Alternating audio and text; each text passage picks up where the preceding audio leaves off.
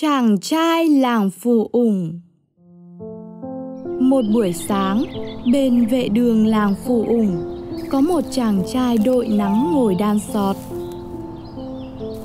Thỉnh thoảng, chàng ngừng tay, đăm chiều, suy nghĩ.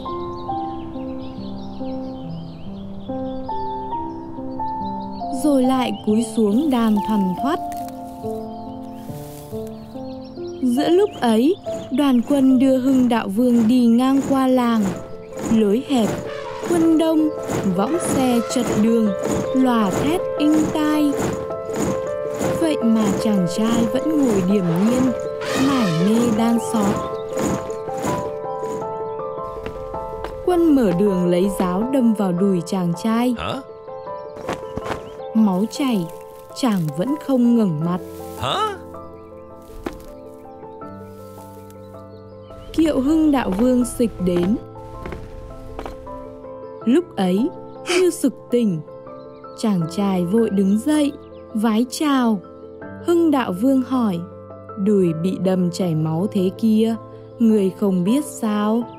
Chàng trai đáp, bẩm, bảy tôi đang mải nghĩ mấy câu trong sách bình thư, nên không để ý, xin đại vương miễn tội cho.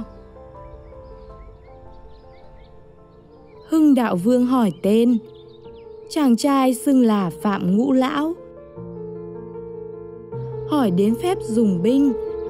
Chàng trai trả lời rất trôi chảy.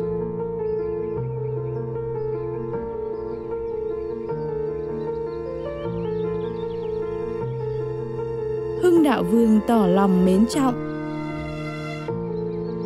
đưa Phạm Ngũ Lão theo về kinh đô. Về sau, Phạm Ngũ Lão cầm quân đánh giặc, lập được nhiều chiến công lớn.